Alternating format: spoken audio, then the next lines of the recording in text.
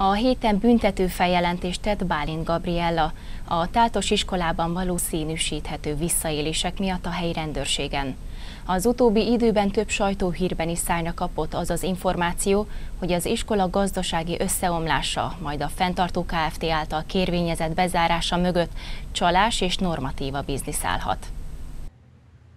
Bálint Gabriela önkormányzati képviselőhöz is eljutottak olyan hírek, hogy a Táltos iskolában tanító tíz pedagógus alkalmazásával és elbocsátásával kapcsolatban szabálytalanságok merülhettek fel, illetve hogy olyan speciális nevelési igényű vagy sérült gyermekeket is felvett a Tátos, akik után magasabb állami normatíva járt, viszont csak papíron látogatták az iskolát.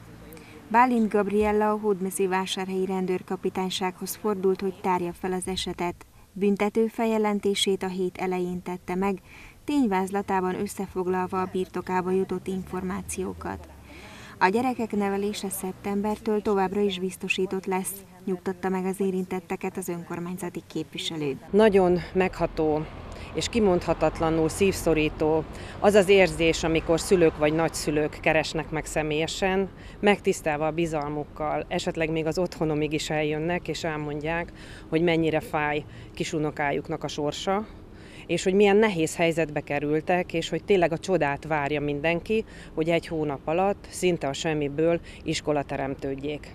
Nagyon-nagyon jól látjuk, hogy az államban, önkormányzatban lehet megbízni, hiszen az önkormányzati óvodák segítenek a táltos óvodáskorú kisgyermekeinek, és a KLIK hódmezővásárhelyi tankerülete segít a 85 érintett hódmezővásárhelyi kisgyermeknek és családjaiknak, és természetesen a tankerület egyéb más településen élő kisgyermekeket és családokat is segít. A szülők élhetnek a szabad iskola választás jogával, illetve lakóhely szerint választhatnak a vásárhelyi tankerület 8 iskolájából és három további egyházi fenntartású intézményből. A speciális nevelési igényű gyermekeket pedig a szakértői vélemények függvényében fogadják a kormányhivatal által kijelölt intézmények.